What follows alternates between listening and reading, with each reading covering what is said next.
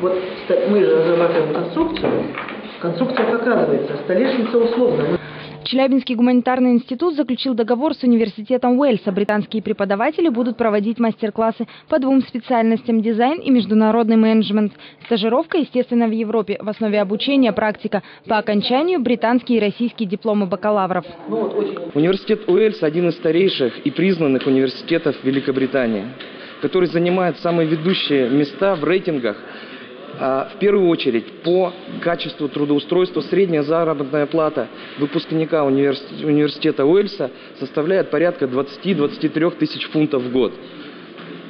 Это примерно миллион рублей.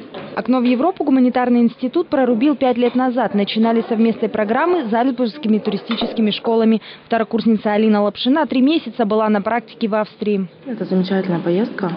Она много мне дала, много у меня научила. А, Во время этой практики я подтянула язык. Также я научилась хорошему сервису. То есть я сама как бы, принимала участие в высококлассном сервисе.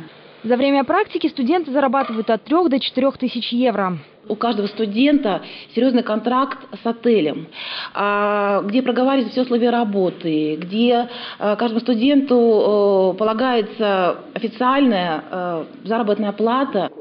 Учиться по британской программе студенты начнут с 1 сентября. А пока институт ждет в гости абитуриентов 12 апреля – день открытых дверей.